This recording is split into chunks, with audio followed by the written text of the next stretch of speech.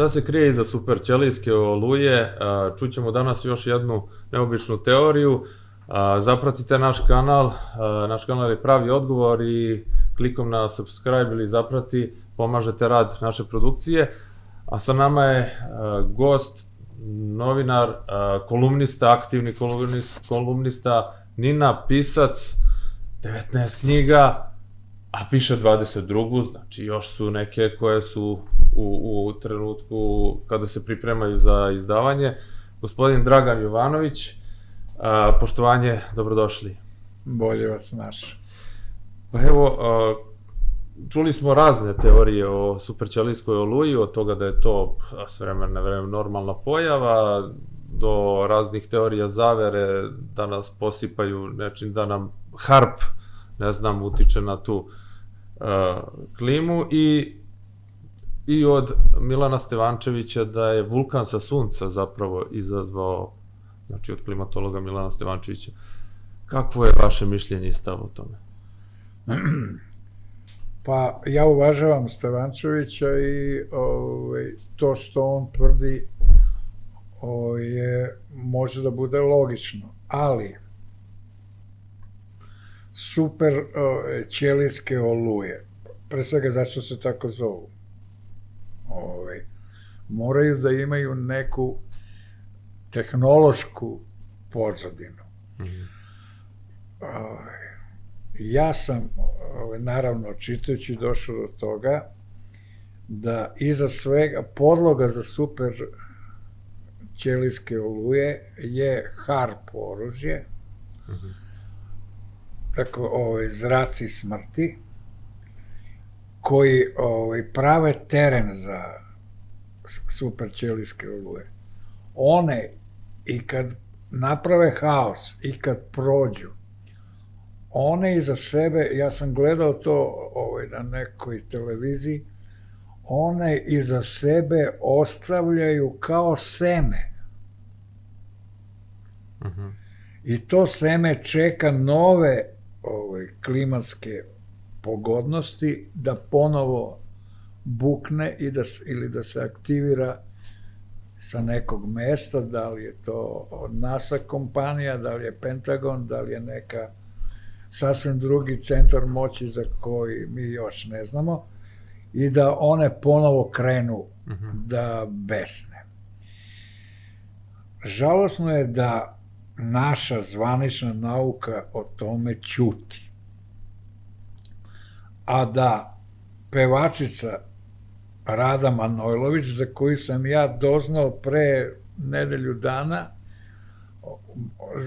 zato što je neke novine su prenele da ona upravo tvrdi ovo što ja ovaj, govorim, a to je da su hiper, ćelijske oluje da su proizvod ovaj, da su proizvod ovaj harp uh mhm. -huh. oružja i da su sračunate na ono o čemu se već dugo priča, na smanjenje populacije, ima nas jel da mnogo, 8 milijardi, to postepeno treba kresati o, ovaj, i, poku, i pokušava se prvo tim stvarima da se te covid i te, evo sada, gripovi razni, svinski, grip Nila i šta ja znam, šta sve, pokušava se prvo tako da se nekako glađu, jel da, a ove pola, skoro pola Afrike bukvalno glad,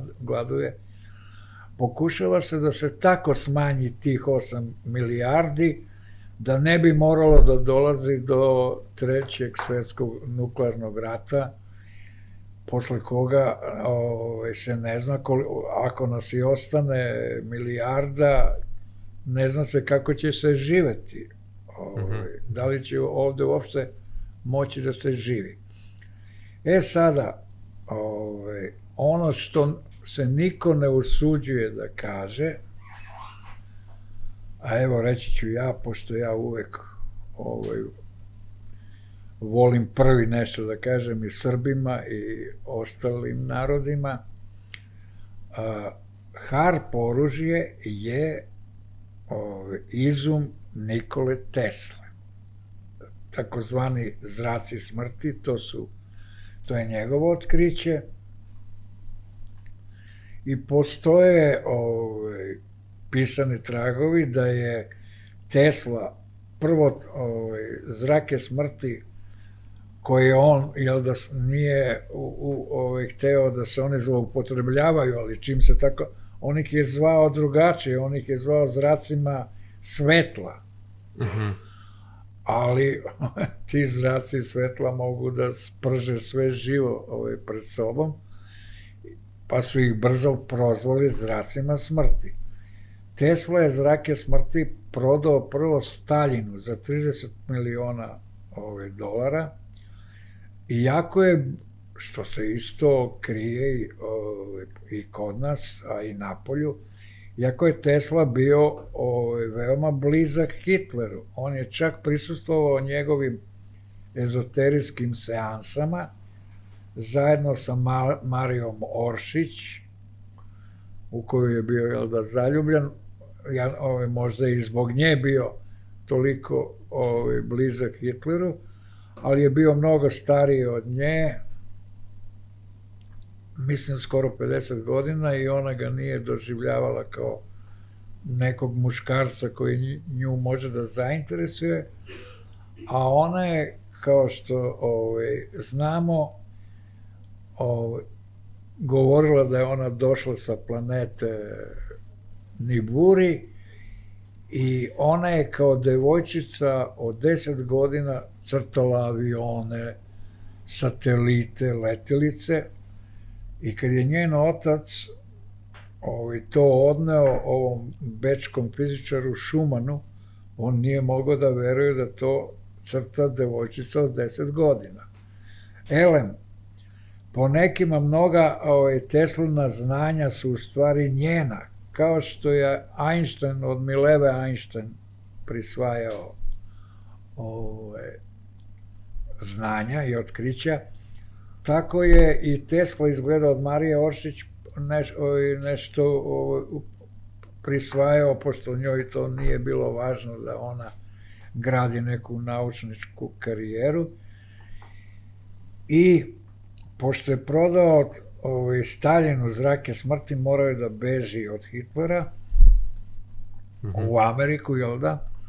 Ali ga je Hitlerov jedan telohranitelj, profesionalni ubica, našao tamo u hotelu u Njurku gde je Tesla živeo i jastukom ga je ugušio. Tesla bio obučen u smokingu, u belim rukavicama, spremao se da ide na neku ekskluzivnu večeru, koje je on ovaj, imao skoro svako veče u visokim američkim krugovima i ovaj, tako ga je ovaj, sprečio da ide jel da na večer.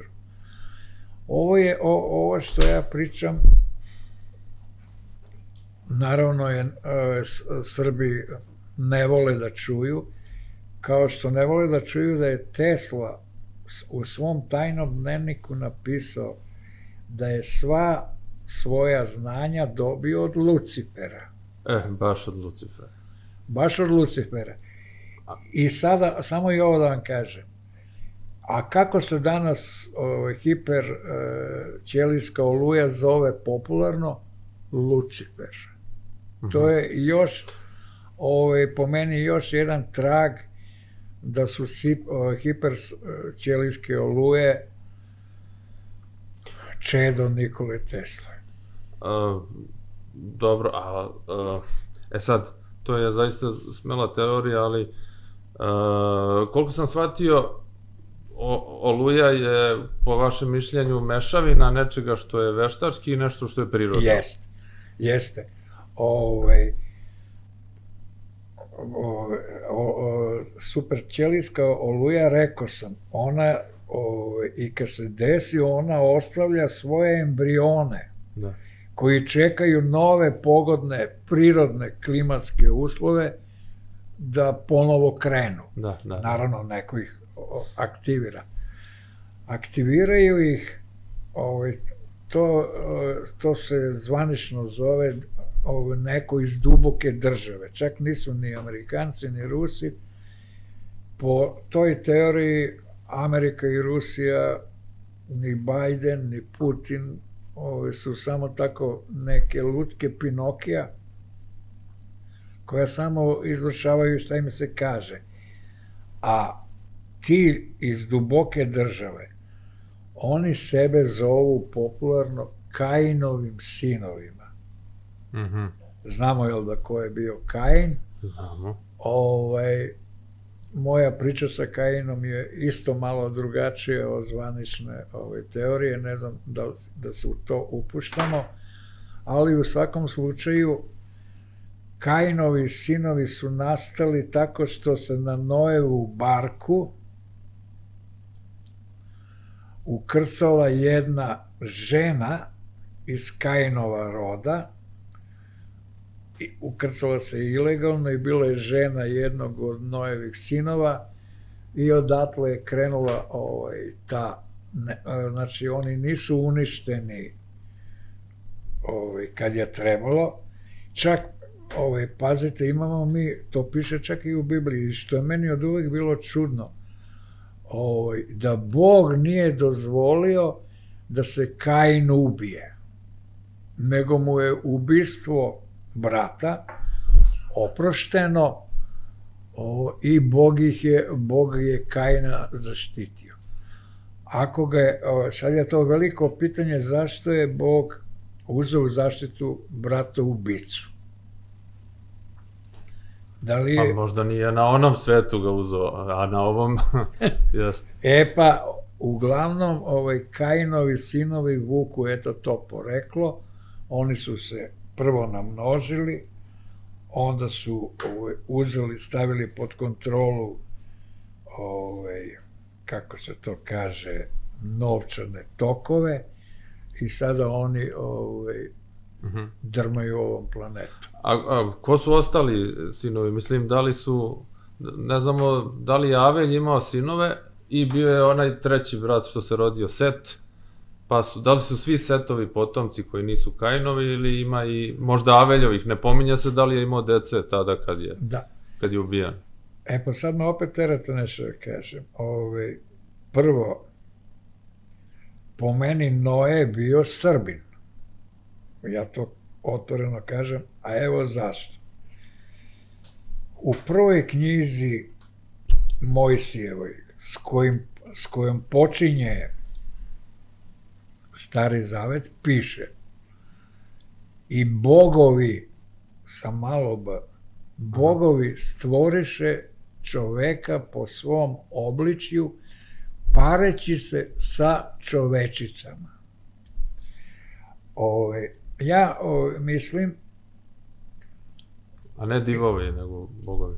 Da, da, ove, u, u, u knjizi piše di, divovi. U suštini, možda, možda ste pravo što smo nekada bogovi i divovi su bili izjednačeni u... Jest, i, i, i anđeli. I div je značilo, uh, i divonija znači božanstvo Jest. i tako dalje. Deus istog Jest. je korena kao e, div. E, pa ja, ja sam ove, lepo rekao, o, piše bogovi sa malo b, znači, ove, kao niža bo, božanstvo da. u odnosu na Boga stvaroca jest, koji je jest, jedan i svemoćan. Jeste. Ovaj, e sad, oni su, jel da, ovaj, se parili sa čovečicama, ja bih rekao sa ženama iz Podunavlja, sa ženama Lepenskog vira, odnosno Vinče. Po meni potop je bio ali ne kako piše Biblija tamo u Araratu, gde se kao Noe nasukao, potop je bio ovde, kada je ovaj, Panonsko more probilo Đerdap, e sad, da li zbog kiše meteora ili zbog nekog ovaj, ondašnjeg nuklearnog rata, tek ovaj, Panonsko more je probilo Đerdap se otvorio i Panonsko more je stvorilo Crno more. O, arheolozi su pronašli elem Znači, ovaj, Noe se nasukao s barkom na Karpate, a ne na Ararat. Bio je i tamo neki potop, ali on je mlađi 2-3 hiljade godina od ovog, od ovog našeg potopa. A, I zašto srpski kalendar, a, zašto smo po starom srpskom kalendaru danas u 7532. godini? Zato što se civilizacija Vinče datira na preko, na oko 8000 godina. Uh -huh. A ovo kako se zove, a Noev grad je nađen na ukrajinskoj obali 50 metara pod vodom je potopljen i ovaj, postoji priča o, veoma ubedljiva da je Noe naredio svom narodu da kopa velike šančeve oko njegovog grada ne bili se tako, ovaj, pošto je znao da će grunuti ovo Panonsko more ovamo, ne bili tako zaštitio svoj grad. Ali ovaj, šančevi nisu bili dovoljno duboki i Nojev grad je potopljen i jednoga na 50 metara ispod mora. Našli su ga jedna arheološka ovaj, ekipa koji su činili Englezi, Rumuni, Bugari i Rusi. Znači, ove, ekipa je bila sasvim i nacionalno i stručno veoma kompetentna. Tako da ovaj, u toj Nojevoj lađi, kažem, bilo je naravno ja, ovaj, po Kljosovu, ruskom akademiku koji ne može da prede u Moskvi, nego mora na Harvardu, a i tamo mu ne cvetaju baš ruže, zato što Harvard drže jevreji, ali je Kljosov rekao i Srbi Kljosovu treba za života da dignu spomenik na sred Terazija, da je Jafet, najstariji sin Noev, iz delte Dunava sa svojim narodom krenuo preko Karpata i naselio Rusku niziju. -huh. Prema tome, Rusi su naša deca. Nije nam Rusija nikakva majka, niti su, mi smo u najboljem slučaju su Rusi naša mlađa braća. Uh -huh. E sad to, ovaj, naravno da se to Rusima ovaj, ne sviđa, i kao što je Kljosov, jel da, šutnut iz Rusije zbog tih priča i zbog priče da je Balkan kolevka arijevstva i da je srpski gen R1A1 star 12.000 godina i da su odavde Arijevci krenuli na sve četiri strane sveta, ni to ne odgovara ni Rusima, ni ovim Kajinovim sinovima, a ja sam samo reinterpretirao Kljosova, ali sam zato kod Rusa, što bi rekao, čujem da je Velja Abramović, ne znam gde je to izjavio, kaže, Rusi su Dragana Jovanovića bacili u kontejner. Mislim, nemam ništa protiv što imam taj tretman kod Rusa, jer ni oni kod mene nemaju, ovaj, ako ne mogu to da prevale čak i najumnije glave Rusije, tu mislim na nauku, pa i na državnike, ako oni to ne mogu da prelome, ja im ne mogu pomoći. Um, htio sam da vas pitam ovo um, za, za bogove. Ajde, uh, šta, šta je smatrano u to vreme bogovima sa malim b, pošto znalo se i u starini za jednog boga stvaraoca, čak i oni koji su poštovali i neka ta niža božanstva. Da li su to bili ljudi ili da li su bili o, velikog rasta, da li su duže živjeli i da li su imali neku tehnologiju što im je izgledalo kao čuda neka i, a, i zbog čega su ih smatrali božanstvima i, i bogovima. Šta je to bilo u pa to Evo vreme? ovako, mi možemo da kažemo ili su došli sa nekog drugog. Da su ti bogovi ovaj, došli ovde mm -hmm. i ono što što se meni veoma ovaj, dopalo da su oni baš ovaj prostor odabrali da prave nas, jel da? Da se ukrštaju sa nama, jer su verovatno ocenili još onda da je ovaj prostor, prostor Srbije, Balkana, klimatski kako god najpovoljniji za život. I oni su nama ovaj, odlučili da se ukrštaju s nama i da prave novi narod. Posjetit ću vas da sr, po staroj srpskoj veri, mm -hmm. o tome je ovaj, i Čajkanović ovaj, pisao, Srbi su verovali da oni da su oni u krvnom srodstvu sa Bogom. A to je ovo čemu smo nebeski narod. Da, da. da. Ove, pa se onda su nam tu ideju sa nebeskim narodom preoteli jevreji, a mi smo se to povukli i utišali.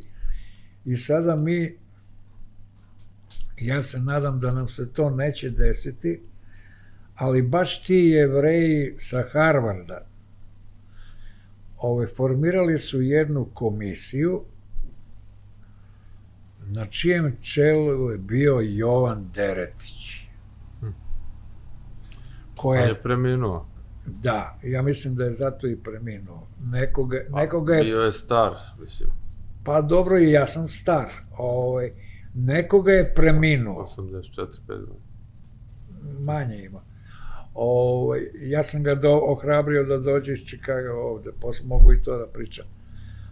Kako su oni njega privolali? Da li je ovaj, obole od nečega pa su mu obećali da će ga lečiti, pa smo videli kako su ga izlečili, ili ga izlečio neko drugi, on je umro ovde u, Sa, u Svetom Savi tamo kod železničke stanice, a ta komisija je trebalo da dokaže Dobro, šta? da je vinčanska kultura jevrejska, a da smo se mi tu, da smo mi dođoši, koje su jevreji prihvatili. A čekajte, mi to ne vidimo u njegovim delima, Deretićevim. Pa to, toga nema u njegovim delima, ali njegov pristanak da bude na čelu to komi, te komisije, ja to nisam mogao ni ušima, ni očima da verujem. Ali onda su mi ljudi ovaj, to ovaj, pokazali. Kažem, nekako je ucenjen, kako, verovatno životom, ne znam, ne znam čime drugim. Uglavnom, ovaj, ja mislim da sam, pošto sam ja to počeo da pričam i ne samo ja, da smo mi tu komisiju stornirali na neko vreme, dok i nas ne ovaj, jel da srede, ali evo, zato sam zahvalan da ovo mogu da pričam i da ostavim neki trag da sam to pričao javno, ne u kafani. Ovo, ali ja jevreje pitam, čekajte, ako smo mi ovde dođeš, ajde da dozvolimo i to da su oni ovde došli ovaj, kako to da je naš stari srpski kalendar stariji od vašeg jevrejskog oko dve i po hiljade godina, koliko ovako gruba računica. Po njima je 5600 i neka, mi smo 7532. Kako je to naš kalendar stariji? Kako to da je vinčansko pismo praktično ćirilica? Samo tri, četiri slova odstupaju od naše ćirilice. Znači, kako to da je vinčansko pismo ili vinčanica, ćirilično pismo, i da je stari srpski kalendar najpoznatiji kalendar ovaj, na svetu. Možda ima i stariji, ali još se ni, ovaj, nisu pojavili, bar ne ovde. Možda tamo u Južnoj Americi Africi ovaj, ima i toga. Ali je ovo činjenica neosporna. I mi ovaj, toga moramo, ako hoćemo da opstanemo, oko, ja mislim da sve, e, e, da sve ova što se na nas ostrvljuju ove, unazad, pa i pre Berlinskog kongresa, ove, da je to, da hoće da nam ubiju ove, ovo iz pamćenja, da vas posvetim, po Berlinskom kongresu je zabranjena upotreba starog srpskog kalendara. Mm -hmm. ovaj, ja ću biti toliko drzak da kažem da mi i dan danas živimo pod ovaj, klauzulama Berlinskog kongresa. Mi ovaj, i danas učimo decu da smo došli ovde u petom, šestom veku sa Karpata. Juče prekjuče je jedan ovaj, mlađi naučnik iz ovaj, Republike Srpske ili iz Hrvatske, govoreći o Jasanovcu i svim tim čudima, pa i taj Jasanovac je ovaj, projektovan da se ove mi zatremo, prvo u Hrvatskoj, a onda i dalje. I on govori, on govori, kaže, to je prava tragedija, jer smo, kaže, mi Srbi i Hrvati došli ovde sa Karpata u šestom veku. Ove, Vojislav Šešelj, jel da? Mhm. -huh. koji O, ja njemu odajem priznanje za ono što je uradio u Hagu, što je razbio Hag. Ali on, kao neka velika srbenda, isto tvrdi što i ovaj mladi ovaj, stručnjak. Da, on je uvek pristalica službene nauke. Jeste. Da, on je službene nauke i Srpske pravoslavne crkve. A, pa, ja, a čak ja, i ne toliko crkve. Ne, Ali ja, ne, ne, on može da kritikuje nekog iz crkve, ali da samo instituciju on ne osporava, taman posla. Pa dobro, institucija. E, vidite, ja mislim da je Srpska pravoslavna crkva uopšte nije srpska. Ajde da se setimo kako je nastala. Nastala je tako što je Nemanja, koji ja, evo reći ću i tu drskost. Nemanja nije Srbin. Nemanja je Nemac. Zato i dobio to ime. On je ovaj, ognjem... Uf, dobro je da bar nije Albanac, pošto oni kažu ni mani. Ne, ne, ne, ne. Nije Albanac, on je ono germansko, A, dobro, naravno da nije Albanac, porekla. Ja. I njegova... Sigurni da je... Njegova, ovaj, čak i oni najtvrđi pravoslavci, ali koji su pošteni naučnici, ne mogu da se odluče ko je njegov otac. Ima sedam kandidata za njegovog oca, ali ni jedan kandidat ne može da se kaže on je. Znači, onda njegova majka, ne znam se ništa, on, ništa o njegovoj majci. On je ovaj, došao ovde sa germanskom vojskom, i ovaj, palio je čitava sela i vršio genocid do Kolevke, gde se slavio bog Vid, koga sam ja posle 800 godina digo na suvoj planini hram boga Vida. O, to je ovaj Vidovdan što Da, e sada, pa ovaj, najveće licemerje što crkva slavi Vidovdan. Jer kakve veze ima ovaj hrišćanstvo sa Bogom vidom. A, a ko je to ubacio u hrišćanstvo? Je li Konstantin ili Sveti Sava ili, Sava, ili Sava, Sava je bio ono što ovaj, kako se zove, Nemanja nije pobio mačem, to je o, i što nije pobeglo preko Drine u Bosnu, pa sve do Bretanje, preko Švajcarske do Bretanje, Ono što je ostalo, to je Sava ovaj, preparirao i ovaj, Sava je eto priznao Vidovdan kao naš velik, veliki praznik jer ovaj, to je bilo to, ovaj, taj praznik je bio toliko jak da jednostavno nisi mogao da ga izbrišeš iz svesti Srba. Uh -huh. E onda mis po mis to je postao hrišćanski praznik. Ajde da kažem i ovo. Zašto taj knez Lazar zakazuje kosovsku bitku na Vidovdan? Što nije zakazao na Uskrs? Na neki hrišćanski praznik. Pa se to zakazuje tako. Ovaj, pa ne zakazao, a zašto je zakazao za Vidovdan? Zato u nadi da će mobilizacija, jel da, da bude bolja. Uh mhm. -huh. Kao što je Stalin.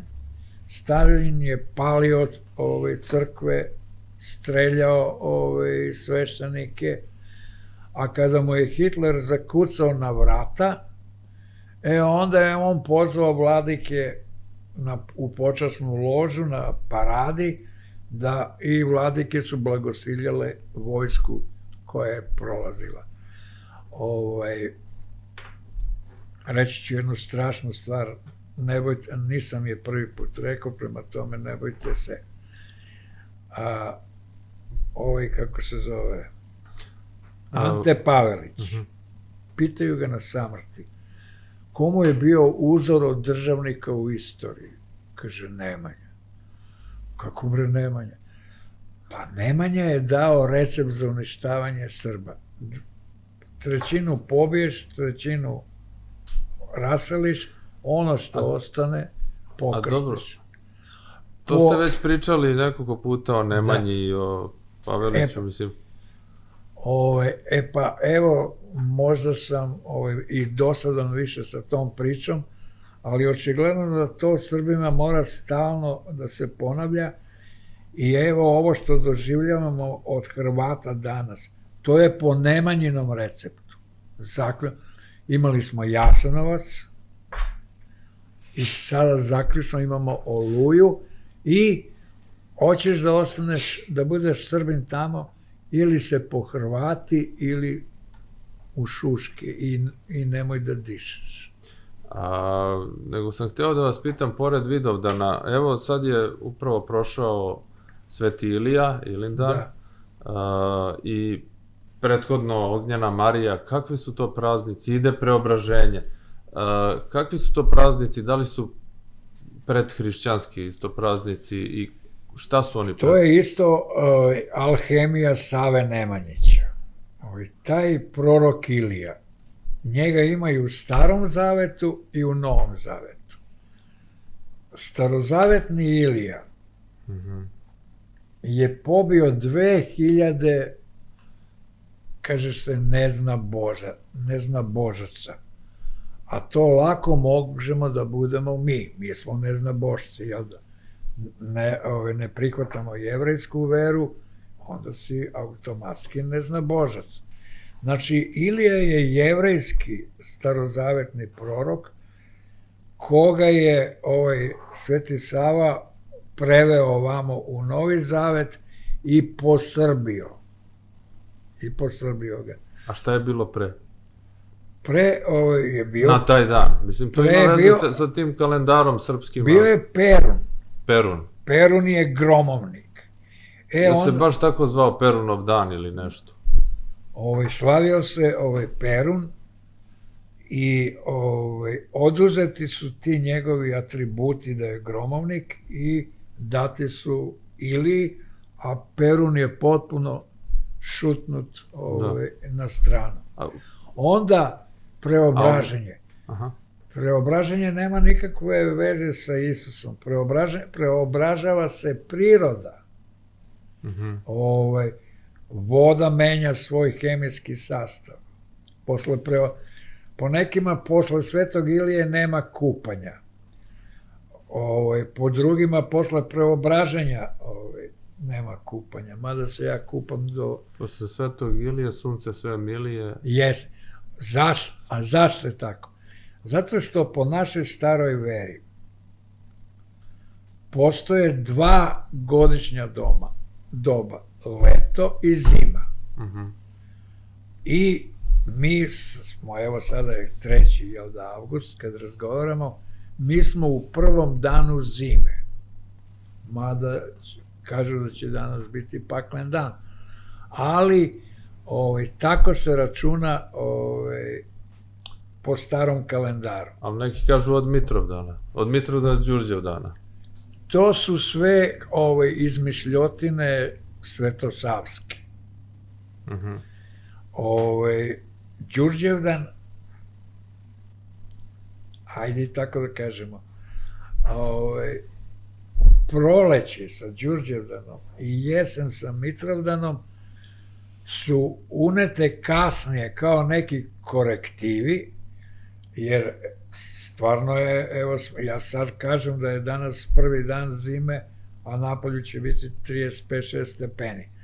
Pa je onda to malo, da bi se to malo ublažilo, onda je, su ovaj, Mitrovdan i Đurđevdan kao dve međustanice vremenske uvedeni. A šta je Ognjena Marija, jel? Ognjena Marija, to su, pardon. to su poslednje avgustovske vrućine. Uh mhm. -huh. Pa je li to bilo neko staro božanstvo ili... Pa, ove, ne, ove, Ognjena Marija sigurno se ovaj, tako nije zvala. Ove, zvala se danas zovu i Marina, čini mi se, osim Ognjena Marija, ali... Svet, ne, ne, i Marina, svetica... Marina je katolička varijanta. Da. Ove, uglavnom, to su poslednje avgustovske vrućine pre preobraženja. Uh mhm. -huh. Ako se setite posle, slobodno recite ka, kako se, kad se setite vi recite, ali ovo me isto zanima za eto, ako je Stevančević rekao to za sunce, da je vulkan izazvao neku oluju i tako dalje, mislim, i da u stvari sve te nepogode i razne druge stvari dolaze sa sunca, a, da li je to razlog što je možda sunce bilo smatrano za glavno od tih sa malim b božanstava? Naravno. Naravno. Da li ovaj znak ima... Pa, evo, dobro da si video. Uh mhm. -huh. Ovo je znak nepobedivog sunca. Uh mhm. -huh. Sa njim je Aleksandar krenuo za Indiju i taj Aleksandar je, ovaj, sad ću reći nešto, nas upropastio. On je odavde odvukao svu elitu, naučnu, vojnu, državnu, je odvukao odavde i ovde je ostala ono što bi obezglavljena raja. Kad je ovaj, on otišao sa nepobedivim suncem tamo, nepobedivo, onda se ovaj, kult nepobedivog sunca ovde polako gasio.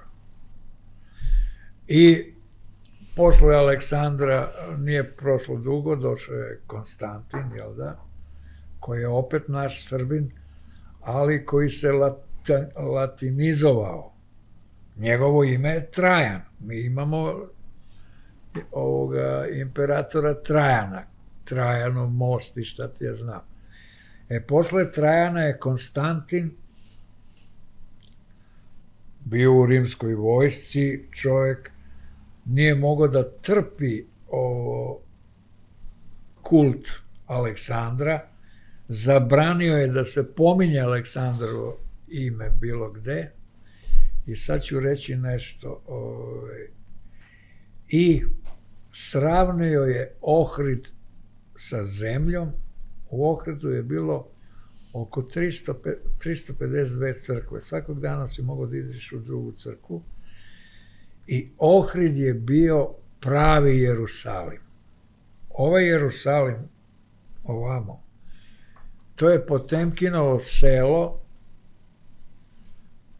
Konstantinove mame Jelene, koja je Sinčiću ovaj, pomogla tako što da bi se uopšte zaboravilo i na Aleksandra i na Isusa koji je rođen u Ohridu. Isus je rođen u Filipovoj tvrđavi, Filip je otac, jel da, Aleksandrov, iznad Ohridskog jezera. O, I da bi se sav taj trag o Aleksandru i Isusu zatro, oni su preselili Jerusalim iz Ohrida ovamo. U Vatikanu, ja sam gledao te mape, koji je jedan ohriđanin, ne znam kako je do njih došao, i ne znam, Bože me proste, da li je on danas još uopšte živ, ja sam video mape mm -hmm. Jerusalima i piše Veritas Jerusalim, i pravi Jerusalim. Mm -hmm. Na, o, iznad o, Jerus, o, taj Jerusalim je baš onako kako je Ohrid, dole plove lađe, čuda, plove lađe pored Jerusalima. A šta sad plovi kod ovog Jerusalima? Rečica Jordan, koja je manja od Topčedarske reke, pogotovo ove leti. Znači, ovaj, ja sam stari ohriđani i dan danas Ohridsko jezero zovu Galičansko jezero. Tu je, jel da, planina mhm. Galičica, a ceo kraj Makedonije se zove Galičnik, Galič. Galileja. Ja sam našao oko 40 toponima koji su iz makedonskog Galičnika preneti u Judeju. Mm -hmm. ovaj, samo da bi se ovaj prostor potpuno zatro i da bi Konstantin ovaj, krenuo jel da, sa tim Isusom iz, iz Nazareta. Je li to ta Galileja tamo što je? Pa naravno, to je ta. Na bliskom istu. I Galilejsko jezero. Kupao sam se i u tom Galilejskom jezeru, kupio sam se i u pravom Galilejskom jezeru. Bio sam naravno u Jerusalimu. I sad vi kad pitate ovaj, gde je ova, kako se zove? A, na šta gde, mislite? Gde je Kana Galilejska? Aha. Gde je bila svadba? Tu je bila svadba Isusova sa Marijom Magdalena. Gde je Kana Galilejska? Pa to je tu negde, ali ne postoje više nikakve tragovi. Gde je Nazaret? Gde, kad bilo za koji uh, toponim biblijski pitate, dobijete na određen ovaj odgovor. U Ohridu, ne znam da ste bili, postoji Kaneo, gde je crkva Jovana ovaj, Bogoslova, ona je ovako iznad Ohrida i, i, i, i tu je prastaro ribarsko naselje. I ja mislim, i tu je bila Isusova svadba sa Marijom Magdalenom. U tom Čekajte. kaneu okridskom. To je ona teorija koju zastupaju pisci onog e, sveta, sveti gral, sveta krv. Oni to zastupaju, ali naravno oni ne tvrde da je Isus Srbin i da je Marija Magda, Magdalena Srpkinja, nego oni ganjaju ovu ove, judeo-hrišćansku priču o Isusu iz Nazareta. Ja vam kažem, Isus iz Nazareta je Pinokio. Ta, jedan lik koji nije postojao. I Pinokio, koji je jel da, postao, postao popularan ne samo među decom, Pinokio je pisao jedan italijanski ovaj, anarhista. I Pinokio, ovaj, time on hteo ovaj, da javi a, ovaj, kako se zvao drvodel, Džepeto, tako se zvao. Džepeto, da, onaj otac Dr, kao. E, koji ga je... E, Džepeto je otac Zdela. Pinokiju. Da. I on je time izvrgo celu tu judeo-hrišćansku priču o Isusu iz Nazareta. E, ali malo ko zna zašto je on to sve uradio. I Pinokio se evo primio ovo, i među decom, kao što se Isus Nazaret primio, kod, o, iz Nazareta primio i kod nas Srba, ponavljam, na silu, i taj zahvaljujući pre svega caru Konstantinu, Srbinu iz Niša, koji je kopile ovoga Dioklecijana, koji je jel da, ovaj, bio u Splitu. Ovaj, da je Dioklecijan, njegov otac, to na neki diskretan način tvrdi Ivan Ivanji u svom romanu Car Konstantin, da je on meni dosta pomogao kad je rekao da je car Konstantin bio legionar rimski i da ga je ovaj, kako se zove, Dioklecijan uzeo za ovaj, zapovednika svoje telesne garde. E, pošto su u gardi primili hrišćanstvo tajno, Dioklecijan je to doznao i pobio je celu gardu, a njega je ostavio. To je jedan, po meni, od dokaza da je ovaj, Konstantin Dioklecijanovo kopile, koje ne pominje se nigde ovaj, njegov otac, i on je, kao i svaki izrod, pa i, i srpski izrod, nama nametnuo Isusa iz Nazareta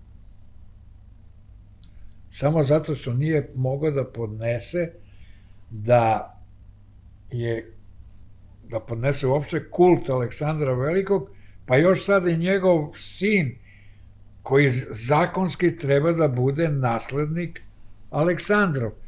Samo ovo da kažem. Julije Cezar je bio general u vreme Aleksandra, zadužen za penine. E, kada je, ovaj, kako se zove, Aleksandar otišao za Indiju, Julije Cezar je dobio i tu obavezu da čuva Kleopatru i malog Isusa, koga su već počeli da zovu Cezarion, nasled. Ove, Julije Cezar, jel da, vodi Kleopatru i malog Cezariona u Rim, da predstavi prestolonaslednika Aleksandrov. I zato Julija Cezara ubijaju u senatu, ono, zari ti sine brute i la la la. I onda je Kleopatra sa malim prinuđena da beži za Indiju. Uh -huh. I mali je tamo do 30. godine. Zašto ni jedno je evanđelje? Zašto niko iz crkve, pravoslavne, katoličke, zašto ne kaže gde je Isus bio do 30. godine? Znači, vi ne kažete da je on rođen tamo u Galileji i... Ne, ne, ne, da, on, on pa je... otišao u Indiju, ima neki koji smatraju da je on otišao u Indiju, tamo isto... Uh, tamo imao isto slušao neke njihove, jel tako, verska učenja i, i došao do nekog svog učenja i onda se vratio ovamo pa propovedao. Jeste, on, on je rođen u Ohridu, rekao sam. U Ohridu baš. On je rođen u Filipovoj tvrđavi u Ohridu. I onda je, pošto se ovo sve ispodešavalo, pošto je ubijen i ovaj, kako se zove, Julije Cezar, Kleopatra sa malim beži tamo. On u tom trenutku ima negde oko 10 godina. Posle, jedno evanđelje beleži kako je on u Jerusalimu, čitaj u okridu, zaprepastio prvosveštenike svojim znanjem. Zašto? Pa i, ove, i ta Kleopatra je bila ne samo jedna od najlepših, nego jedna od najobrazovanijih žena onog vremena i ona je dete ovaj, tako o, i vaspitavala. Elem, zašto nam neko iz crkve ne objasni gde je Isus bio do 30. godine? Bio je tamo. I onda on, on odande dolazi ovaj, da povrati oče presto od, od Rimljana. Ovaj, na jednoj, ovaj, to sad ajde i to da kažem, Prošle nedelje smo u ovome, kako se zove, u Rsovcima kod Pirota, to je tamo prema Zavojskom jezeru, ovaj, gde postoji jedna pećinska crkva održali okrugli sto da pokažemo zašto je u toj crkvi na fresci koja je skoro do pola uništena, Isus prikazan i zovu ga seljaci ćelavi Isus, uh -huh. kao budistički sveštenik. On se da. možda odande i vraća kao budistički sveštenik, ali ne samo kao budistički sveštenik, nego kao neko, kao vođa ustanka, kome su se pridružili Panoni, Iliri, Dalmati i Tračani, i koji ovaj, dižu ustanak protiv Rimljana. Pa gde je on bio? U Shaolin manastiru? bio je ovaj, bio je u, na Tibetu. Kad je vođa ustanka, mislim, to. Znači da kažem, učio borilačke veštine. Ma, u, pa, komu je otac? Njegov otac je isto, ovaj, nije bio samo, Dobro. Ko, komu je bio o, o, učitelj? Aristotel, Vi... ali imao je i ove, ove druge, koji su ga osposobili za najvećeg vo, vojskovođu, da ne kažem starog veka, nego malta ne do danas. Dobro, da bude jasnije, gledalci, vi uzimate teoriju Fomenkovu, mislim da se knjiga zove statistička uh, Dugačak je naslov, da. Statistička kronologija u kom on govori da su dodati čitavi neki vekovi u istoriju, da Neki da, su dodati, neki su... Kopirani samo na drugačiji način da. i tako dalje. I da u stvari je prošlo mnogo manje vremena u istoriji. Yes. I, i da da su u stvari na taj način dolazi do sažimanja uh, istorijskih izvora i događaja i da su oni preklopljeni u stvari. E sad vi smatrate da je Fomenko u pravu i da ovaj i da su u stvari uh, Aleksandar Veliki i Kleopatra, jel to mislite na egipatsku Kleopatru? Baš na nju. Živeli u isto vreme A inače, istoričari tvrde da je Aleksandar Veliki imao sestru koja se zvala Kleopatra. Je, pa to je ovaj, bilo veoma, što bi se reklo, uobičajeno ime, kao što danas, malta ne, svaka druga žena se zvala ili Marija, ovaj, Magdalena je i danas veoma često prezim, žensko ime u Makedoniji. Magdalena. Magdo, Desibre Magdo, Magdalena. Aha, aha. E. Ovaj, ja sam počeo da tvrdim da je Aleksandar ovaj, oženio ovu Kleopatru, što su me i ovaj, najbolji prijatelji savjetovali da to bar ne pričam javno. Ali ja sam toliko bio siguran u to, iako zvanična, jel da, istorija kaže da između njih 297 godina ovaj, razlika. Meni je Fomenko ovaj, mnogo pomogao. Fomenko je dolazio u Beograd. Uh mhm. -huh. Niko se nije našao za, za shodno, recimo Srpska akademija nauka nije našla za shodno da ga ugosti i da on u akademiji održi predavanje samo su ga dva asistenta sa Prirodno-matematičkog fakulteta su mu malte ne polu ilegalno u amfiteatru organizovala predavanje ja sam to ne znam kako doznao. Bio sam malte ne jedini od novinara i ja sam sa Pomenkom napravio jedan veliki intervju ove, i doživeo sam ono što se kaže prosvetljenje. Jer ove, šta sam video? Jedna noći, da li mi je to Fomenko šapnuo ili neko od ovih inženjera, kaže, izračunaj razliku između, u, u godinama između Aleksandra i Kleopatra. Ja ustanem, uzmem ovako oloku, 297. Mm -hmm. I tu je meni, e onda sam rekao, e sada mi mačići izađite ovaj, na crtu. Još kad sam video da je izmišljena Ptolomeova, dinastija Ptolomeja od 14 Ptolomeja, koja se poklapa isto 297, i Ptolomeji su postojali su samo Ptolomej prvi i drugi, a, Kleopatrin otac i brat, oni su 12 izmislili i to je vreme od 297 godina isto. E, i oni su tako Kleopatru gurnuli i Aleksandara razdvojili. U knjizi, u prvoj knjizi o Makabejcima ima jedna rečenica da je Aleksandar oženio Kleopatru. A Plutar piše, opisuje Filipovu svadbu, kaže da je ove, odbacio ženu olimpijadu, majku Aleksandrovu i oženio se sa mnogo mlađom Kleopatrom. E, i na toj svadbi, to Plutark veoma detaljno opisuje, ovaj, Ptolomij diže pehar u, u čast sina prestolonaslednika koji će Kleopatra da rodi Filipu. Aleksandar uzima pehar i gađa ovoga u glavu, Ptolomeja. Mm -hmm.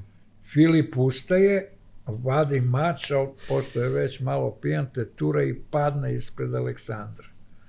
I Aleksandar kaže, evo, ovaj hoće da osvoji ceo svet, ne može da stigne do mene. Posle dva, tri meseca, Filip gine u lovu na lavove, to je tad, jel da, bilo u modi, zato u Makedoniji danas ni u Grčkoj nema lavova. Da, ni u Srbiji.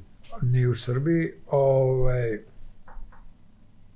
a znamo da se i kod druga Tita da su lovovi odlično mesto za da, da. ostranjivanje nepoželjnih. Just. I onda on preuzima Kleopatru od oca, Aleksandar i ženije i dobijemo malog Cezariona. E, ovo niko mene ne demantuje ni iz akademije, ove, nikome još zvanično nije demantovao sve ove moje priče o Isusu Srbinu, da je sin Aleksandra i Kleopatre, da je do 30. godine bio tamo, da se vratio. Pominje se čak i ustanak protiv Tiberija i da je Tiberije potpisao kao ustupak ovaj, da ovi narod, srpska plemena, Dalmati, Panoni i Liri, dobiju rimsko drža, ovaj, pravo građanstva, ali se ne piše s kim je Tiberije potpisao taj sporazum. Ime tog se prećutko. A, htio bih da vas pitam ovo, pošto pominjate rođenje Isusa, e sad, i nepobedivo sunce. U stvari, a, čitao sam u različitim knjigama, 25. decembar, koji se slavi kao Božić, znači i u katoličkoj i u i u pravoslavnu, samo što je pravoslavno po, jugo, po julijanskom kalendaru 25. decembar. Evo i Zelenski rešio 25. Da. da slavi. A da, ali govorimo po ovom kalendaru, ali po julijanskom je 25. decembar, a to kad se prebaci u ovaj, onda je 7. januar. Znači, uh, da je to u predhrišćanskom periodu bio praznik nepobedivog sunca, valjda tri dana nakon ravnodnevnice, znači ponovo počinje da se diže sunce, da na, na horizontu i tako dalje, znači pošto se zimi spušta na horizontu i tako. E sad, da li je Isus stvarno jel mogu, da, da je on baš rođen na taj dan. Inače, sam čitao da su stari narodi verovali taj dan nepodvedinog sunca, pa uključujući Slovene koji su slavili Svarožića, sina Svarogovog. Jest, jest. Znači, vrhovnog boga. Jest. I da li je Svarog u stvari bio samo drugi naziv za gospoda Boga sve moguće, da. E, dobro da ste me to pitali. Olimpijada, mhm. -huh. Prva žena Filipova, ove treba da rodi Aleksandra oko nje je bio čit, ajde što su bili e, lekari, ginekolozi, jel da? Nego je bila i grupa astrologa. I oni su, ovaj, njihov zadatak je bio da se dete rodi baš na taj dan. Znači dobili su zadatak. Dobili su zadatak, porođaj je usporavan, ovaj, ubrzavan, ovo, ono, samo da se dođe do tog datuma. Uh mhm. -huh. Prema tome, ovaj, Božić, to je Svarožić, jel da? Da. Ovaj, Božić je taj dan koji, gde je to spojeno sa nepobedivim suncem i sa rođenjem ovaj, Isusa. Jer je ova Kleopatra, kao što se ovaj kao što se dirigovalo ovaj, porođajem olimpijadinim, da se rodi Aleksandar pod najboljim rasporedom zvezda, tako je i Kleopatra od svoje svekrve, jel da, učila, ovaj, htjela da se i njen sin rodi pod najboljim položajem zvezda, pošto je porođaj bio tu oko 25. onda je ona odlučila da se on rodi na taj dan. Prema tome, ovaj, dete je rođeno tad. I zato je to Božić. Mhm. -huh.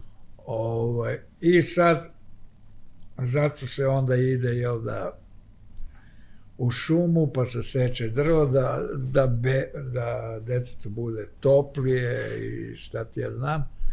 Sve je tu, ovaj, to je taj ovaj, Sava Nemanjić i tu odlično sve to ukomponovao da bi Srbe privolio na judeo-hrišćansku veru. Ali vidite... Uh... I samo, i samo ovo da kažem.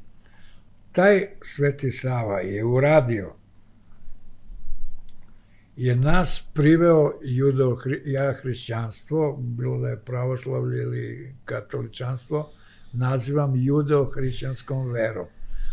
On je nas, Sveti Sava, vešto manipuliše sući ovaj, našim staroverskim verovanjima, približio Isusu iz Nazareta, ponavljam nepostojećem, i on je tako od na, duhovno od nas Srba napravio jevreje.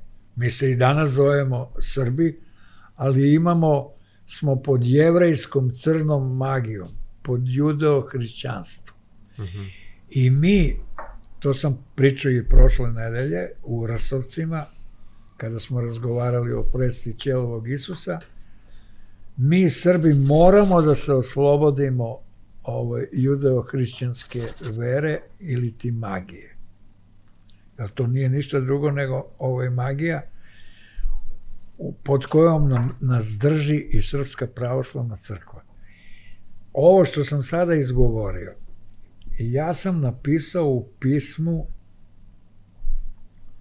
patrijarhu Porfiriju, pa možda ima sada već i šest meseci, gde sam mu stavio do znanja da ako on uradi ovo što ja zagovaram, Ako Srpska pravoslavna crkva prelomi u sebi ovo, o čemu ja govorim, ako, ako prizna da je Isus Srbin, ove, ona će ostati, ostaće Srpska pravoslavna crkva, ovako će se ona ugasiti, jer ona je jedna trula građevina, crkve su prazne, hvala Bogu, mla, mladi ne idu tamo, idu samo još starci koji su zatucani. Ovaj, I ja sam mu rekao da bi on bio važniji od Svetog Save kada bi tu to sproveo u Srpskoj pravoslavnoj crkvi. Ja sam propustio priliku da to predložim patrijarhu Pavlu ali još nisam bio ovaj spreman, još mi nije bilo sve ovako jasno kao što mi je sada jasno, a patrijarh Pavlo je mene, Bog zna kako, ovaj, voleo, ne samo ovaj, jer je sa mojim dedom ovaj, išao zajedno u Prizrensku bogosloviju i kada su me napali, kad sam objavio moj prvi roman Žitije Savino od Bogumila Monaha, kada je na mene krenula i crkva i akademija i CK, on je me uzao u zaštitu, kaže, ne dirajte dete iz dobre porodice, uh mhm. -huh. a oko Bogumile u pravu. I sad me stalno gride, što ga ja tad nisam malo stiso, jer. Pavle je uživao toliko veliki autoritet i u narodu i u, i u crkvi i u akademiji i svuda, da bi, kad bi on krenuo u to, mislim da ga niko ne bi ovaj, zaustavio. Ovako, kažem, ja sam ponudio uslovno rečeno mafijašku ponudu patrijarhu Porfiriju, ili ćeš biti patrijarh ko, koji će se pamtiti i biti veći od Save Nemanjića ili ćeš biti jedan u nizu koji će biti zaboravljen. Da, to je svakako malo čudno da a, naša crkva ne želi ništa da zna o pre, predhrišćanskom periodu, o tome šta su uopšte da se u javnosti priča o tome e, koja smo, eto, neka božanstva imali, iako Grci imaju svoju mitologiju koja ne utiče na, na eto, grčko hrišćanstvo, nego jednostavno svi znaju i ko je bio i Zevs, i Apolon, i Artemida, i Atina, da. i ovi oni.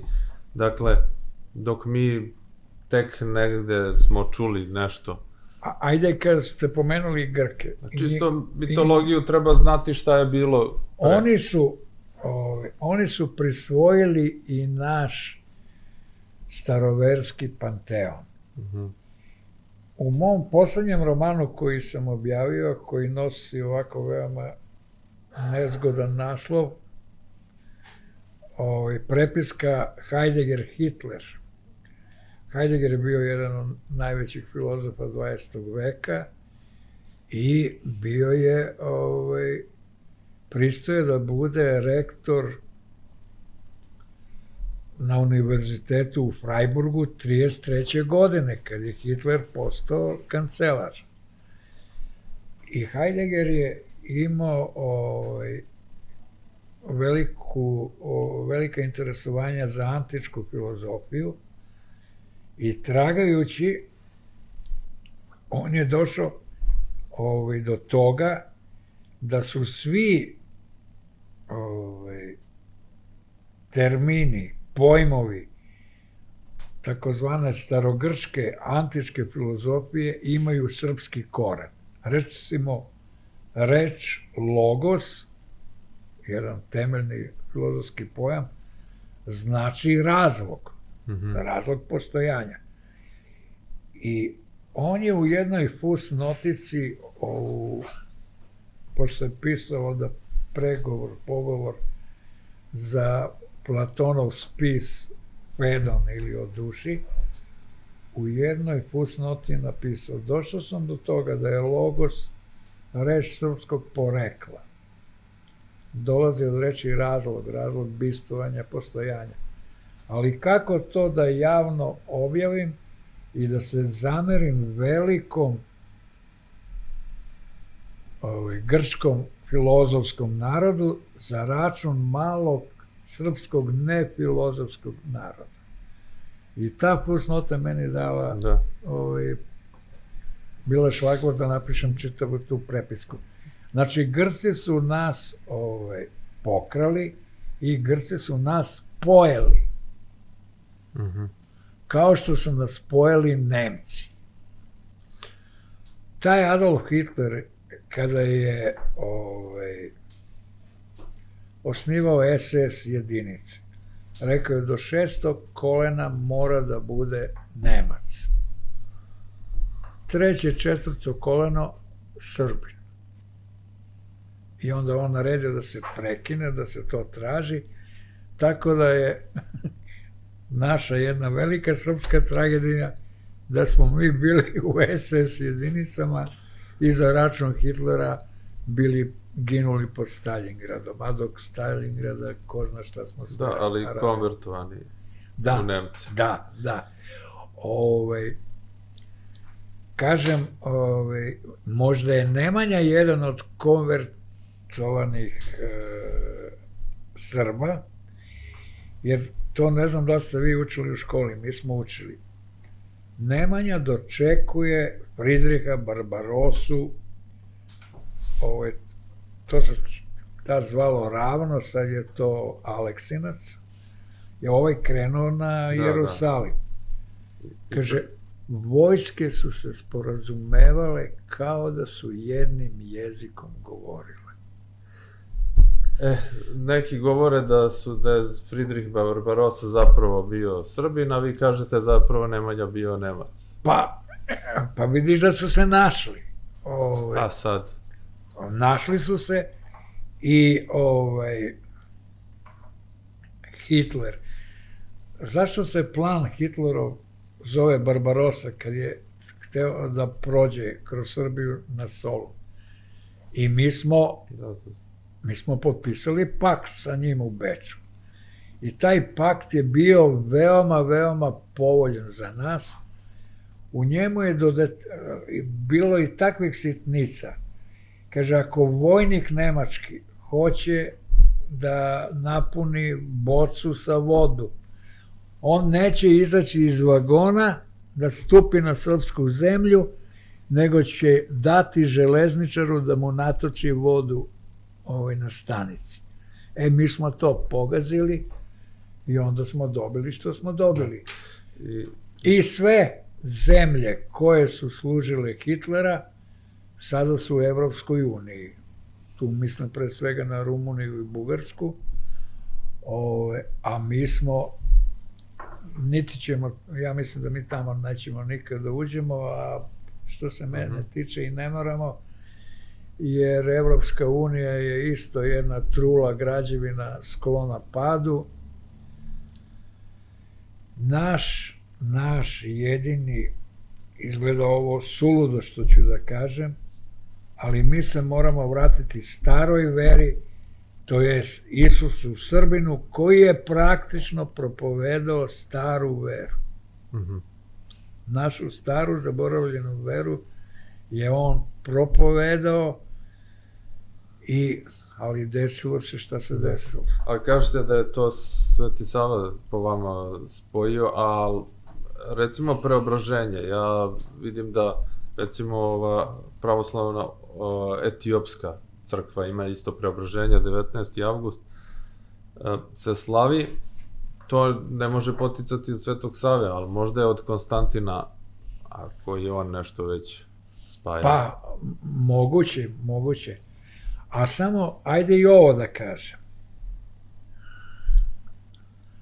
Čovek ko, čije sam ime, nažalost, zaboravio, ne, ne bi da lupnem neko ime, a da nije on, On je bio između dva rata, bio je radikal po ubeđenju, bio je u 5-6 puta ministar u svakojakim vladama, ali se 20 godina bavio ovaj, istraživanjem srpskih rodoslova i letopisa.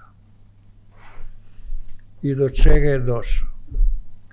Došao do onoga do čega je došao Pomenko, ali on mučenik je to tragično shvatio.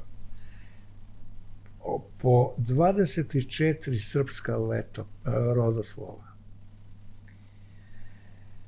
Slušajte sada, Nemanja je praunuk cara Konstantina. A, to znači, 800 godina... Po sestri, valjda, jel? Od sestre Konstantinove. Bilo je i Likinija, Licinija. Da, ne. Koji mu je bio zet. Ne, ne, slušaj sada. Ili ne. baš od Dobro da ste pomenuli Likinije. Zašto je, ovaj, kako se zove, Konstantin zaratio sa Likinijem i jel da na Milvijskom mostu ga uh -huh, uh -huh. ubio. Likinije je Likinije je ujak Isusa. I zato se Konstantin plašio Likinija jer je u vezi, jer je on u krvnom srodstvu sa Aleksandrom. Pa zar nije Likinija bio tri veka nakon Isusa? I Konstantin isto. Svi su oni bili tri veka nakon... Ili Samo, četiri, koliko? ove, sad slušaj. Ove, Tri znači, nešto, da, tri. ovaj mučenik, kad je shvatio da, posto, da nema osam, osam vekova slavne srpske srednjevekovne istorije, bio očajan.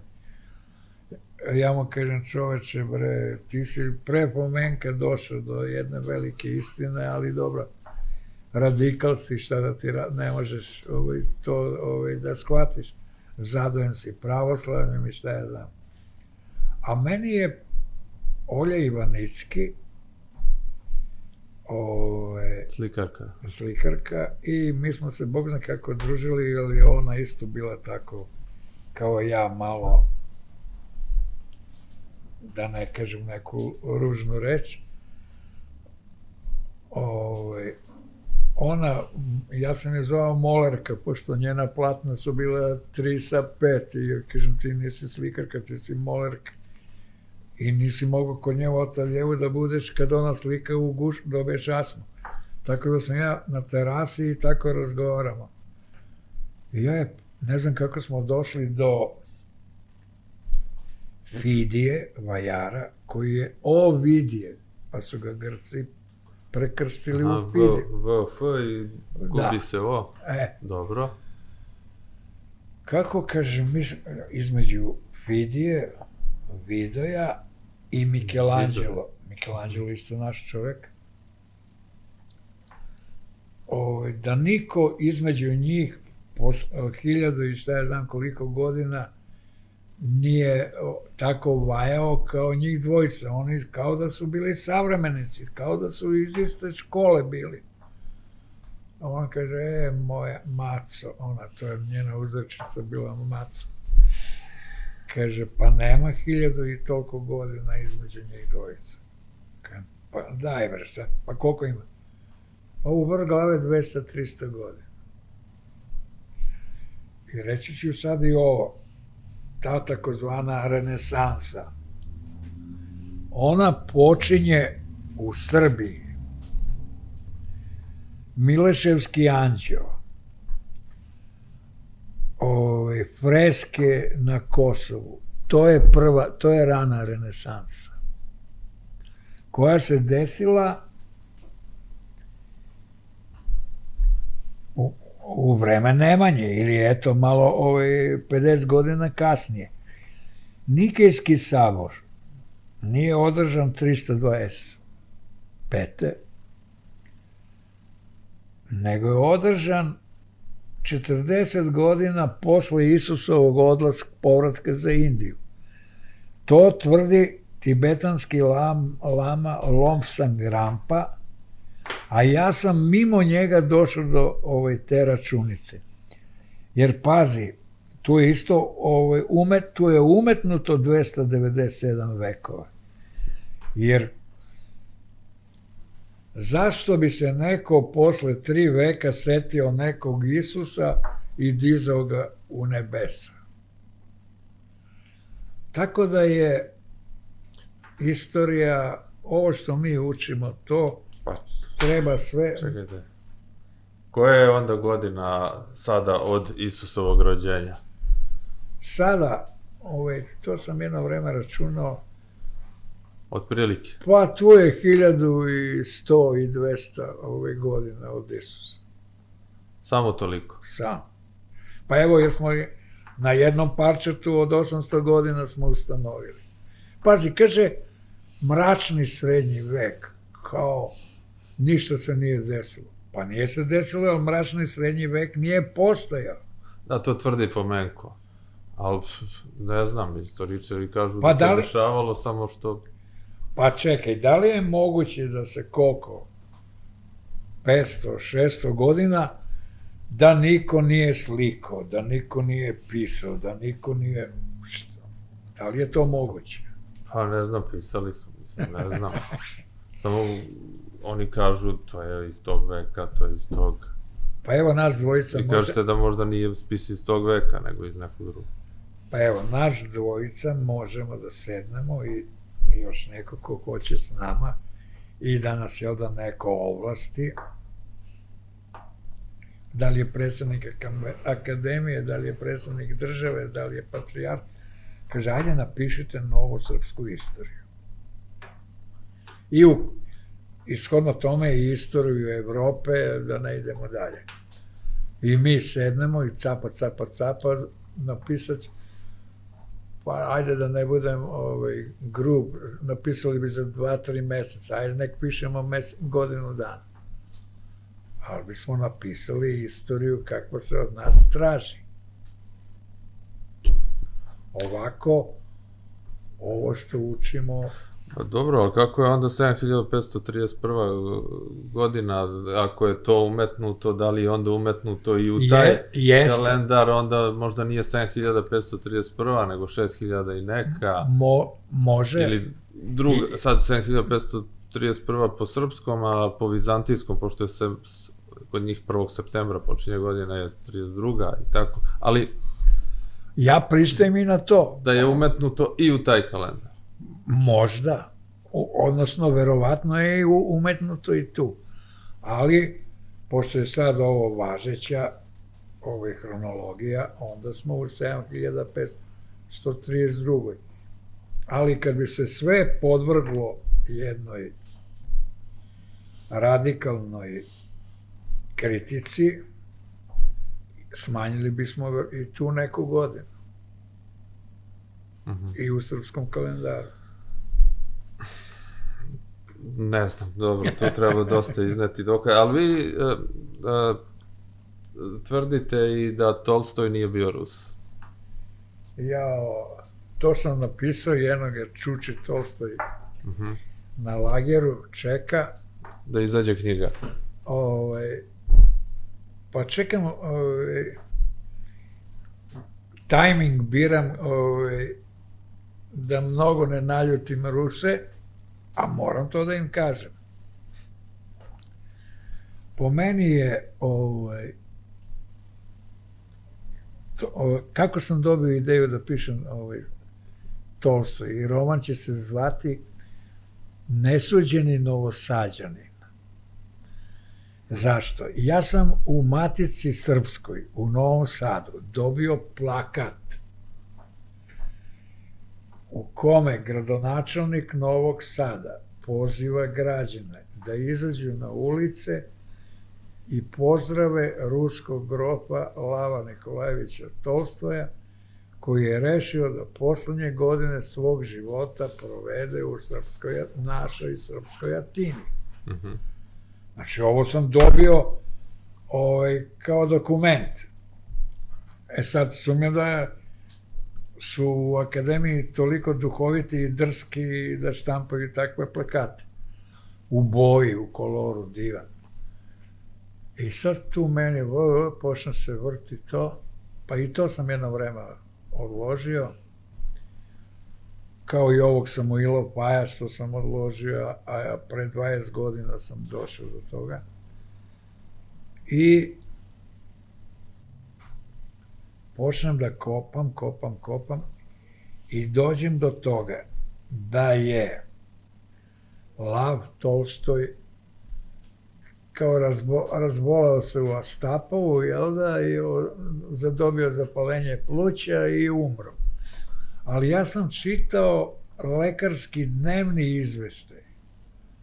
On je, on je i u tim godinama jahao po 20-30 kilometra radio s tegićima, sklekove, gimnastiku i on jeste dobio zapolenje pluća, prvi dan strašnu temperatura 40 i ne znam koliko, drugi dan bolje, treći dan bolje, četvrti dan on je bio bukvalno zdrav.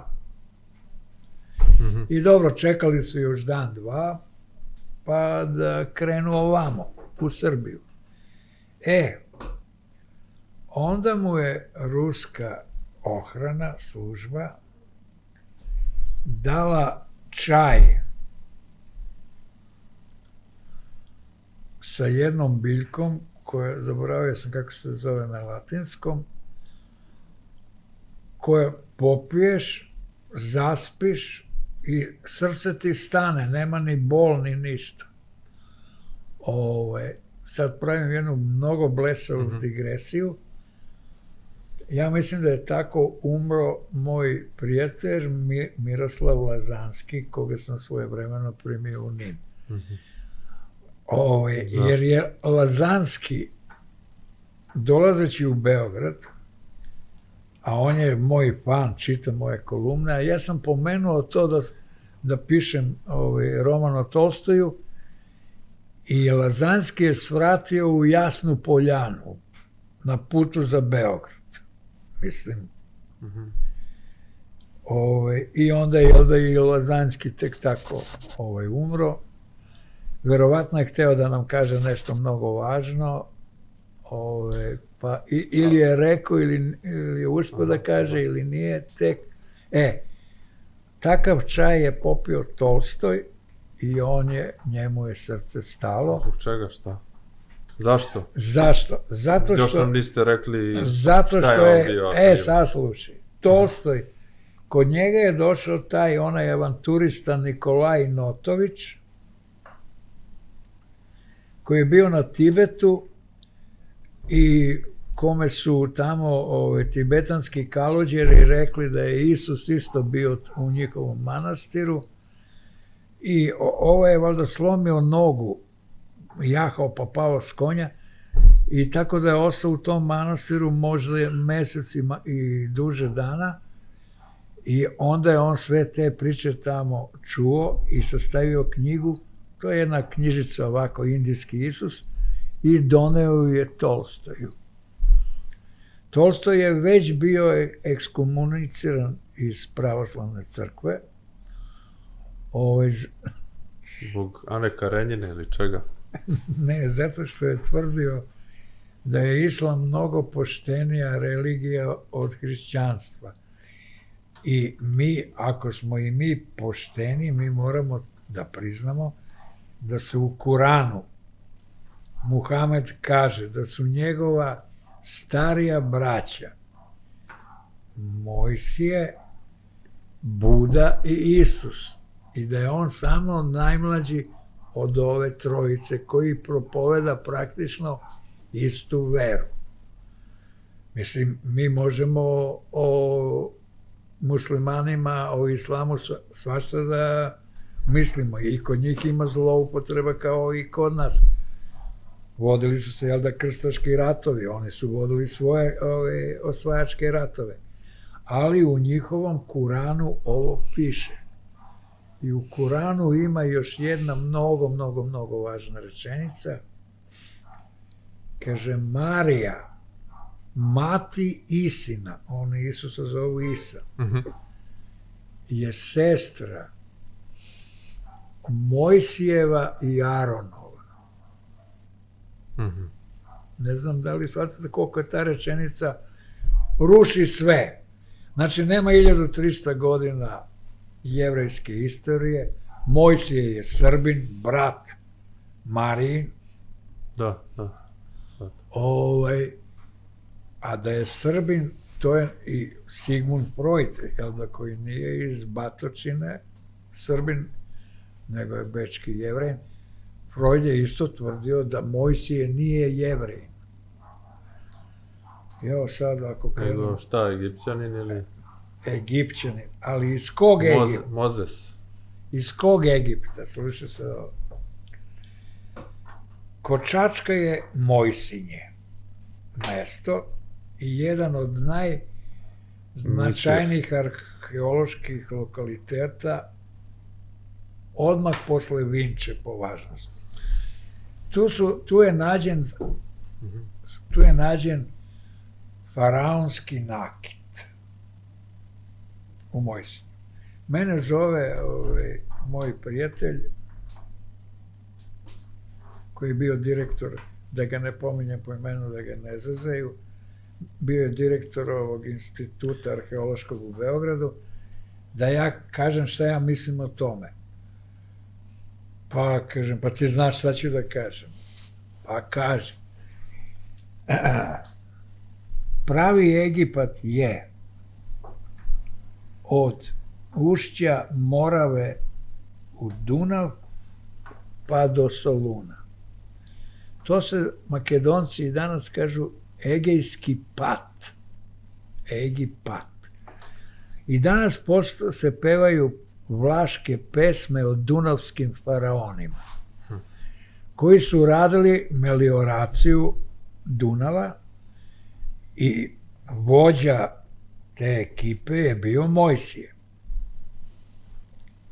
A Mojsije nije bio rođeni brat, ove, kako se zove, Marije, nego ove, je Mojsije on od zvanično, ima nešto istine i u zvaničnoj priči, Mojsija je majka stavila u pletanu korpu i pustila, pustila ga niz Nil, jer je videla da se tamo kupa faraonova kćer, to je Marija, to je Kleopatra. I, ovaj, I da će ona to dete da uzme. Tako da je Mojsije je u, ono kako usvojeni brat Kleopatrin, to je Marin. Ali oni su savremenici, između njih ne postoji ni 1300 godina. Prema tome, ako ćemo da kratimo naš stari srpski kalendar, onda ako kratimo i jevrejski, to će biti njihov da. mnogo kraći. Elem, kako sam ja došao na ovu ideju? Ove, kako sam došao na ideju? A, kod mene tamo gde sam postao takozvani Najdanovi krugovi, po meni je tu kosmički levak i tu su ljudi dolazili da se leče na Najdanove krugove, a tu je dolazio i ovaj Nikola Tesla, koji je poreklom njegovi su tu iz jednog sela Donje Krnjino između Bele Palanke i Babušnice, tako da i on dolazio zbog kosmičkog levka. E, taj Najdan Rakić po liku bio pljunuti Tesla. Ja kažem, Najdane bre, ti si isti Tesla. Ma dobro bre, to mi svi kažu. Ja ga pitam, kako si dobio ime Najdan?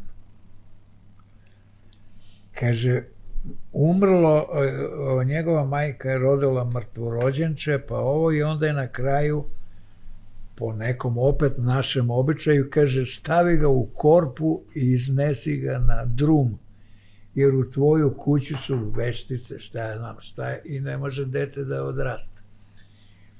I ona je to stavila ga u korpu, iznala ga na drum. Ali gleda ko će da najđe da bude neko da, da, da. iz bolje porodice. Je taj što nailazi, on isto zna za taj običaj. I viče, čio je ovo dete? A ona viče, Mojesije, Mojesije, Mojsije. A, to je interesantno. Ko... je sada, Aha. ovaj,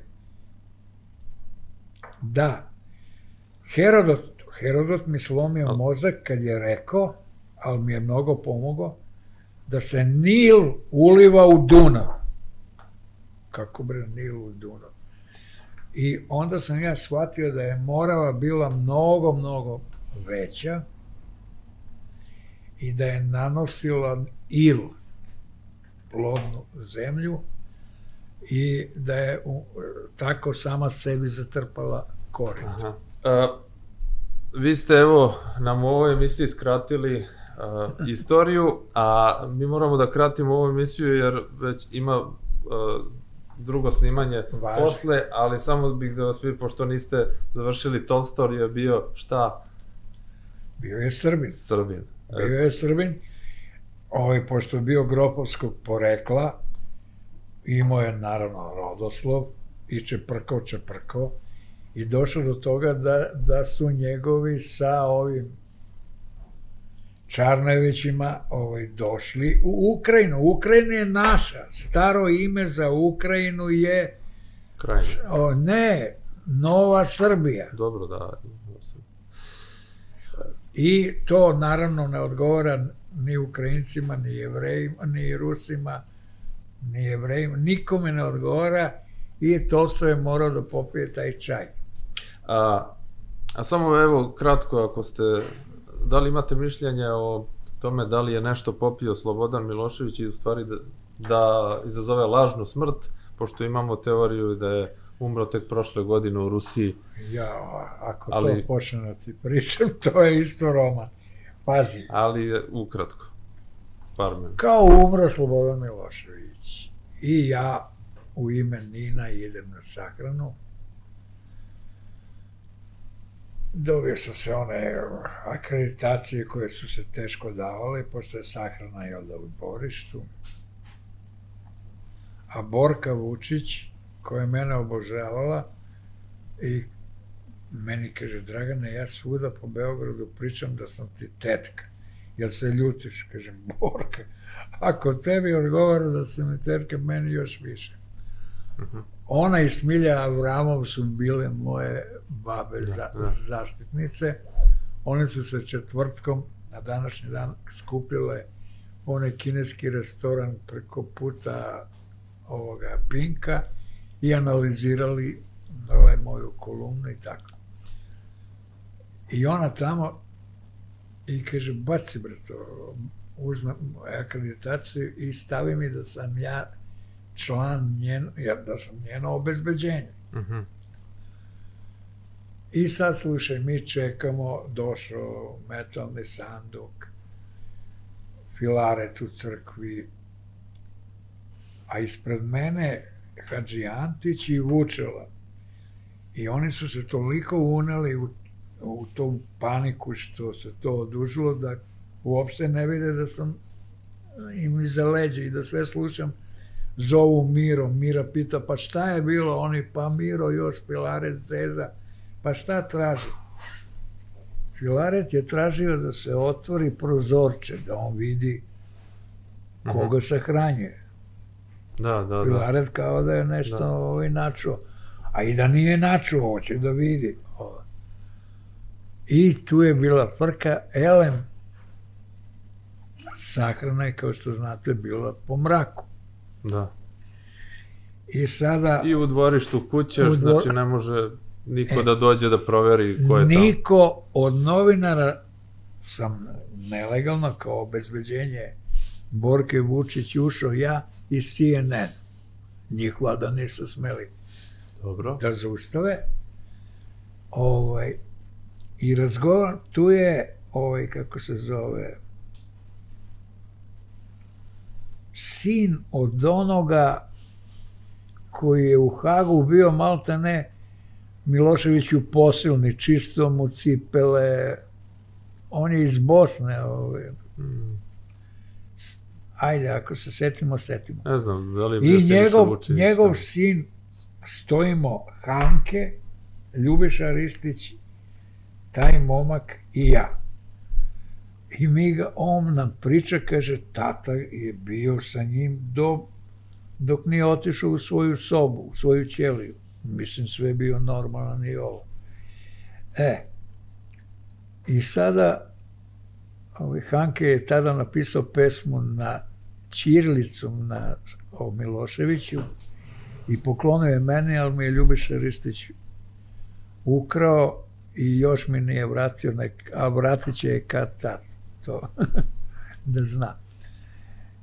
Elem, posle sahrane meni kaže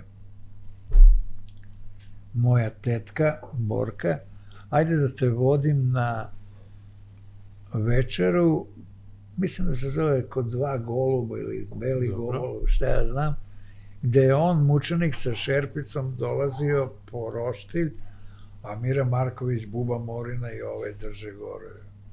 Dobro. Kružoke, seanse, šta je znam šta radi. I mi večeramo, a imao sam i ovde i onu sliku Slobodan Milošević kao mm -hmm. beđ. I nešto, ne znam šta sam uradio, i pa zakačem sliku i ona ovde, otkotrljala se tamo ispod drugog stola. I Borka se nasmeje i kaže, pa vidiš da je živ. da, da. E, ja sam znači, tad, niko nije video. Ja sam tad shvatio da ovo, je to aluzija na Beđu. Tek posle, kad sam počeo da slušam sve ove priče, bilo mi je jasno da je čovek tamo. O, i njega sam znao, ja.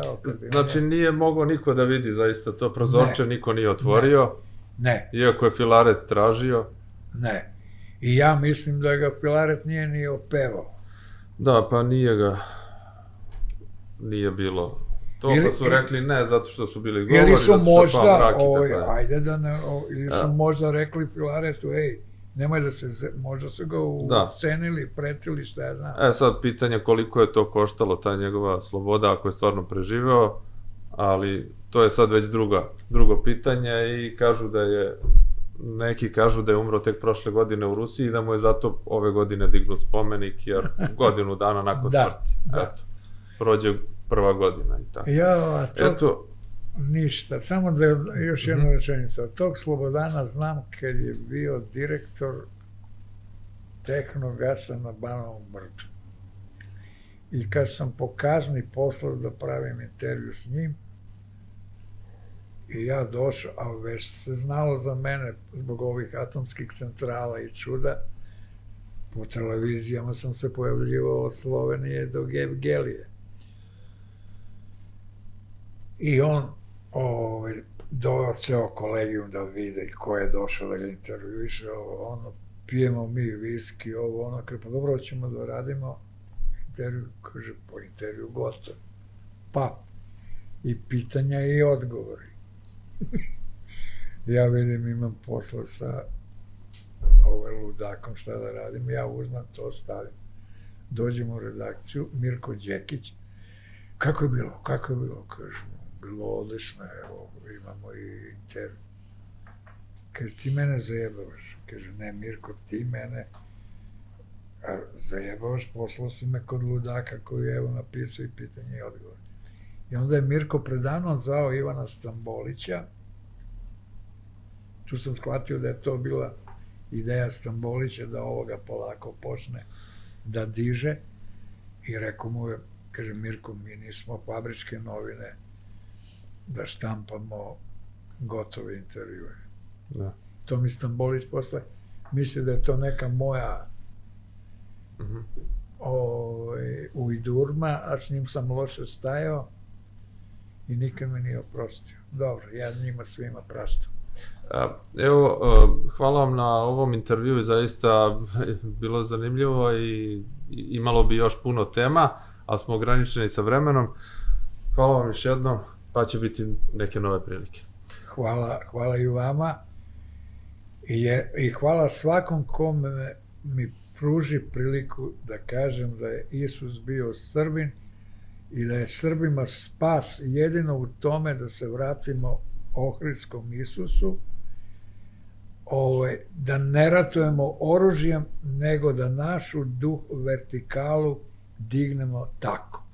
Da. Pa šta nam bude. Da, dobro, sad je Ohrid, makedonska crkva, ali to je već druga priča. Ne, ali ajde, ovaj, nema vremena, ali imam i tu šta da kažem. Sava je tražio od Hometijana, arhijepiskopa Ohridskog prva autokefalnost. Uh. -huh. I on mu nije... A Ohridska arhijepiskopija je pokrivala teritoriju Aleksandrovog carstva, izlazila na tri mora. Koliko je bila moćna, i, i, a to isto govori da je tu Isus bio i Aleksandar. I ovaj, komentijan mu rekao, ide u Rim tamo, ide kod pranja Asiškog, nek ti on da autokefalnost. Tako da je Nikec, mi smo u Nikeji dobili autokefalnost koja je problematična. I ovo što smo mi vratili autokefalnost makedoncima, to je samo smo spasili dušu za onoliko. Mm -hmm. Dobro, uh, hvala vam. Uh, Evo, sa nama je bio novinar Dragan Jovanović, ja sam Nikša Bulatović. Gledali ste emisiju Luča na kanalu Pravi odgovor, zapratite nas, e, time pomažete rad naše produkcije i hvala na pažnji, vidimo se uz, u društvu nekog novog zanimljivog gosta.